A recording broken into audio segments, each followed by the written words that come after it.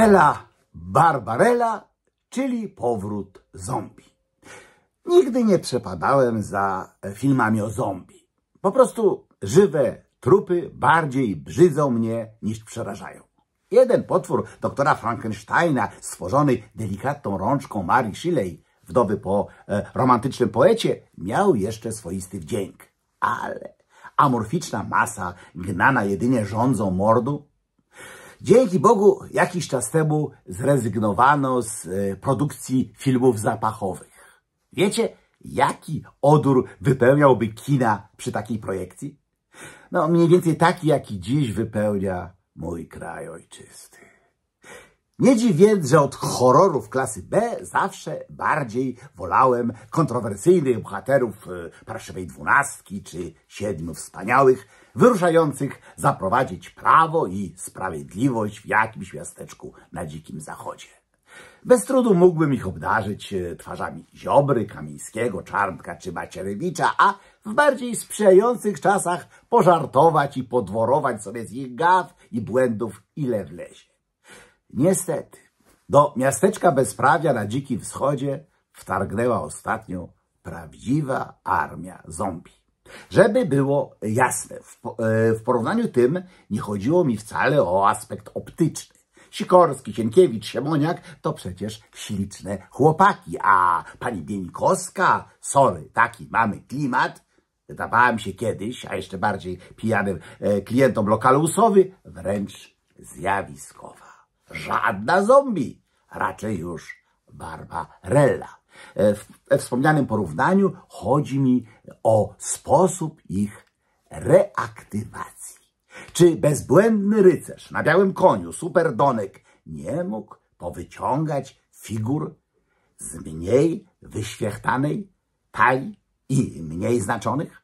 Czy obdarzony zaufaniem blisko połowy krajowych wyborców postanowił za wszelką cenę zrobić tej drugiej połowie na złość?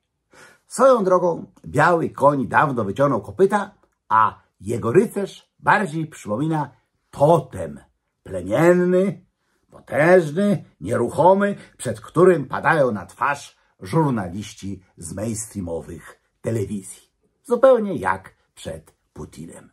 Czy jest to światowid, czy raczej trzygław, pochodzący z matecznika w dawnym DDR-ze? Nie mnie sądzić. Płaszczą się przed nim i już. W każdym razie ostatnio objawił swoje trzy przecudowne twarze, a każda pokazywana była minimalnie odmiennie. W tvn z zachwytem, w Polsacie z lekką obawą, a w Neoinfo wedle rozkazu. Oczywiście każdym przekazie widać było, że to wielki przywódca, a przy okazji jakie ludzkie panisko. Przykład? No, starczyło, że pojawiła się plotka, że jego ulubiona Bieńkowska przejmie Orlen. Błyskawicznie zdementował, uznając, że takie plotki krzywdzą biedną kobietę. Niby dlaczego krzywdzą? Jest za dobra na tę posadę? A Orlen zbyt parszywy? Przecież ministra niedorozwoju regionalnego i była komisarka handlu i usług w Brukseli, pytanie komu i za co, żadnej pracy się nie boi. Kobieta pracująca.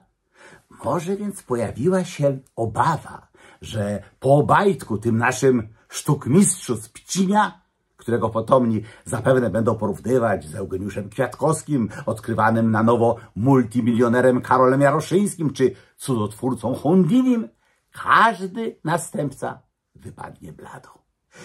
Niepotrzebne lęki. Ktoś w rodzaju pani Eli Barbarelli potrafi zniszczyć nasz narodowy koncern dużo szybciej niż pan Obajtek zdołał go zbudować.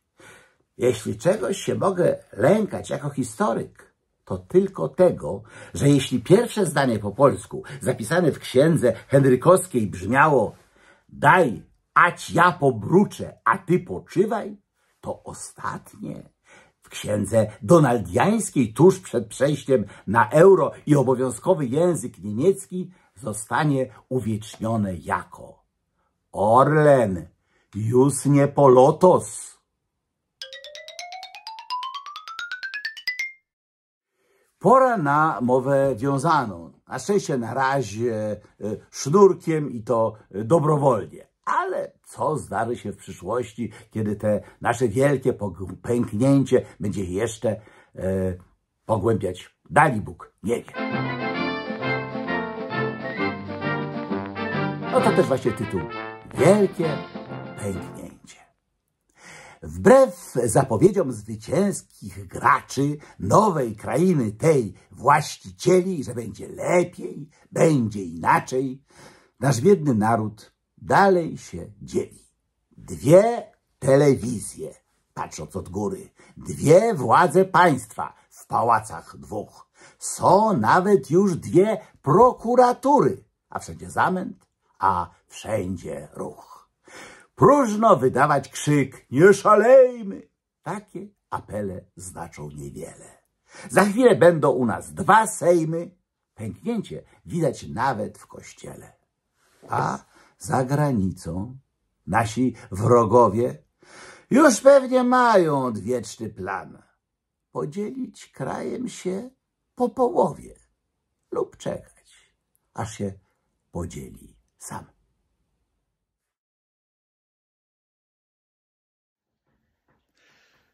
Kochani Państwo, Jestem szczerze wzruszony i dlatego pozwalam sobie tak ekstra do Was przemówić, ponieważ Wasze zainteresowanie, e, te setki e, listów miłych, które, na które próbuję odpowiadać, ale nie daję rady razem e, z rodziną, Wasze subskrypcje, które pomogą kontynuować naszą działalność. No, naprawdę, drodzy Państwo, jestem zbudowany.